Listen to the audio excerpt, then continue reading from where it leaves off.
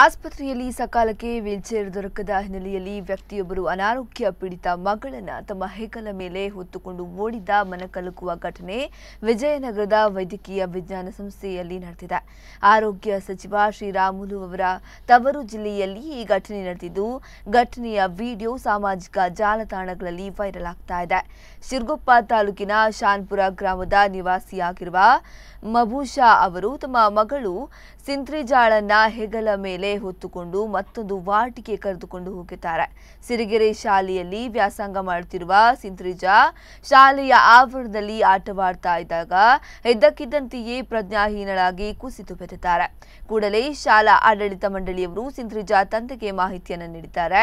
ಕೂಡಲೇ ಮಗಳನ್ನ ಮಬೂಷಾ ಅವರು ಮಗಳನ್ನ ವಿಮ್ಸ್ ಆಸ್ಪತ್ರೆಗೆ ಕರೆದುಕೊಂಡು ಬಂದಿದ್ದಾರೆ. ಆಸ್ಪತ್ರೆಯ ಸಿಬ್ಬಂದಿಗಳು ವೀಲ್ ಚೇರ್ ಕೊಡುವ ಕುರಿತು ನನಗೆ ತಪ್ಪು ಮಾಹಿತಿಗಳನ್ನು ನೀಡಿ ಕಾಲಹರಣ ಮಾಡ್ತಾ ಇದ್ರು. ಹೀಗಾಗಿ ಹೆಗಲ ಮೇಲೆ ಹೊತ್ತುಕೊಂಡು ಮಗಳನ್ನ ಕರೆದೊಯ್ದೆ ಎಂದು ಮಬೂಷಾ ಅವರು ಹೇಳಿದ್ದಾರೆ.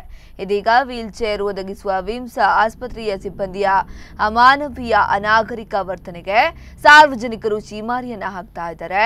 ಸ್ವತಃ ಆರೋಗ್ಯ ಸಚಿವರ ತವರು ಜಿಲ್ಲೆಯಲ್ಲಿ ಇಂತಹ ಘಟನೆ ನಡೆದಿದ್ದು ಈ ವಿಡಿಯೋ ವೈರಲ್ ಆಗ್ತಾ ಇದೆ. ವಿಮ್ಸ್ ಸಿಬ್ಬಂದಿ ನಡೆಗೆ ಸಾರ್ವಜನಿಕರು ತೀವ್ರವಾಗಿ ಖಂಡನೆ ವ್ಯಕ್ತಪಡಿಸ್ತಾ ಇದ್ದು ಚೀಮಾರಿ ಹಾಕಿದ್ದಾರೆ.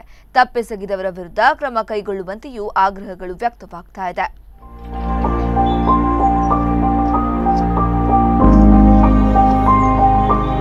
boleh lang